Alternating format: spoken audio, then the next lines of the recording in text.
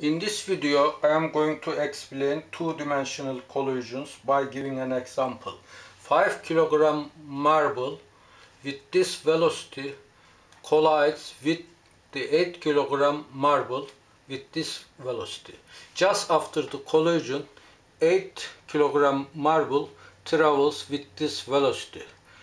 First question, find the velocity of the 5 kilogram marble immediately after the collision.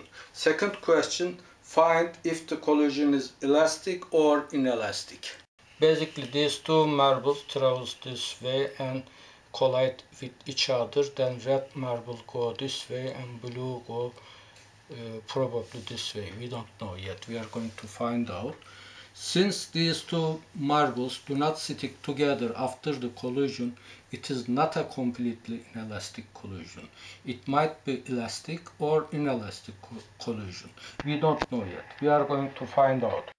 As we know, momentum is conserved in all kinds of collision. Elastic, inelastic or completely inelastic.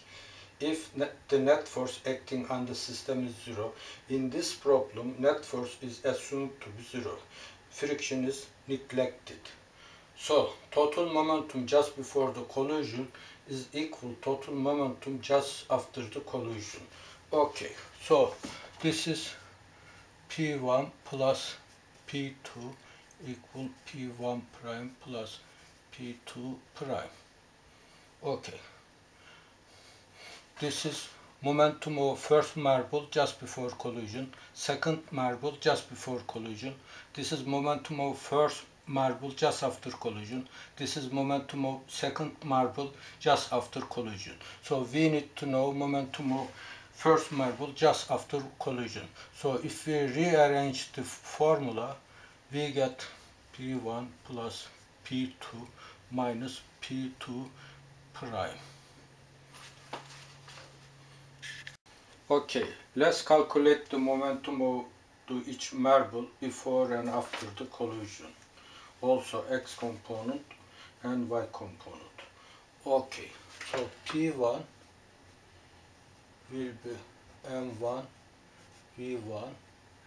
M1 is 5 kilogram, V1 is 4.2 meter per second. When we multiply this, we get 21 kilogram meter per second. So direction 55 degree south of west. Direction same as the velocity. Okay. So p1x will be uh, 21 kilogram meter per second basically p1 times, okay, I don't write the units, cosine 55. So when I calculate this, I get negative 12.05 kilogram meter per second. Okay, P1y equal 21 sine 55 so when I multiply this I get 17.2 kilogram meter per second. So P1x directing to the left so left is negative. P1y directing to the down so also negative. So basically I use this triangle and trigonometry. Okay if I write this value here. So P1 so X component negative 12.1 let's say 12.1 and Y component negative 17.2 okay so P2 momentum of second marble just before the collision. P2 equal M2 times V2 M2 8 kilogram times 3.5 meter per second so when I calculate this I get P2 will be 28 kilogram meter per second. So direction will be same as the velocity 20 degree north or west. Okay. So P2x will be 28 so I don't write unit. Cosine 20 okay. So 26.3 kilogram meter per second because it is directing to the left.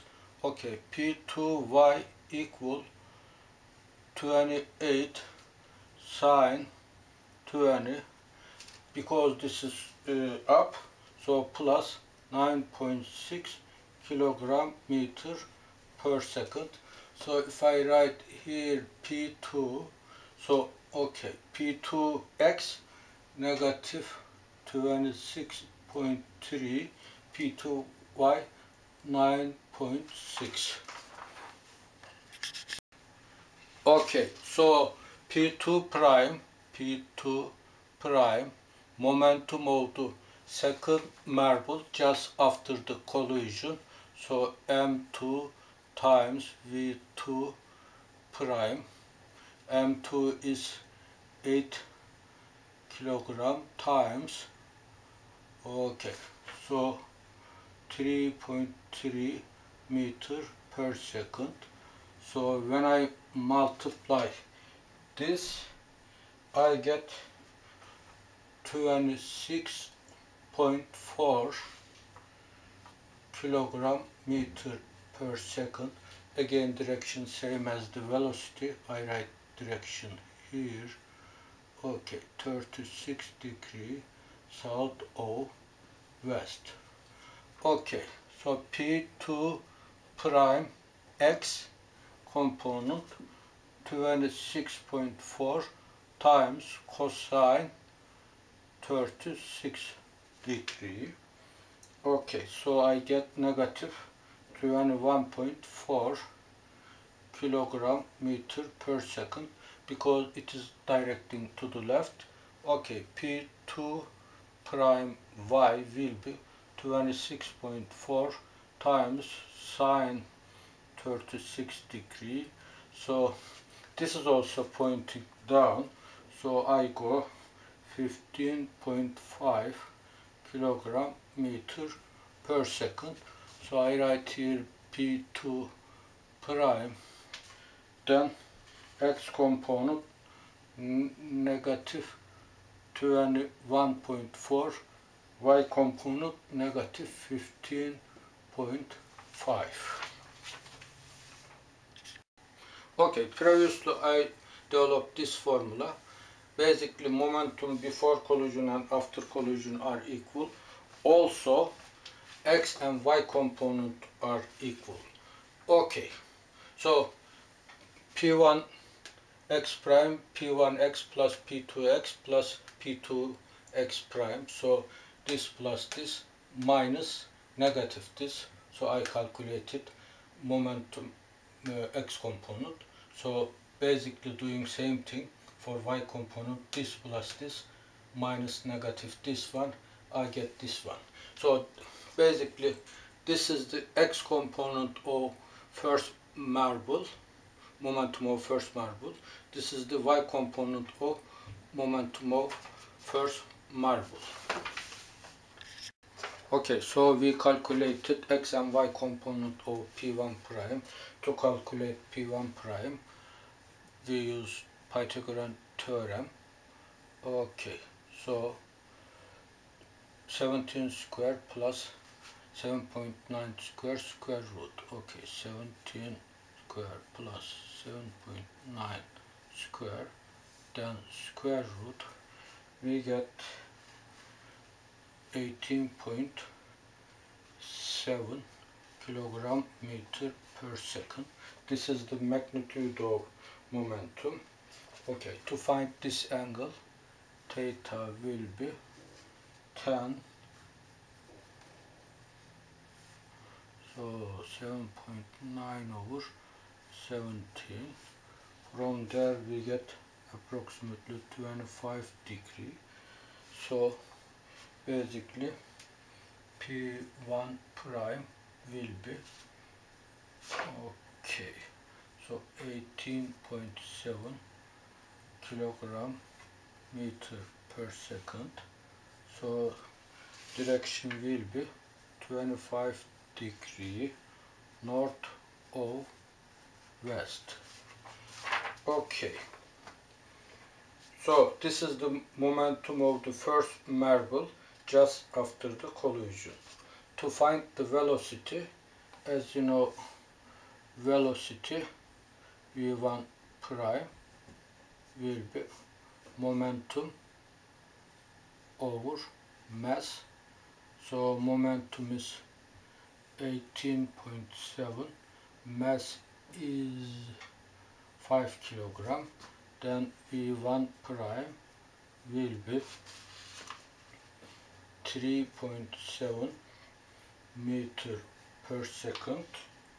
Okay I write the direction here. 25 degree north of west.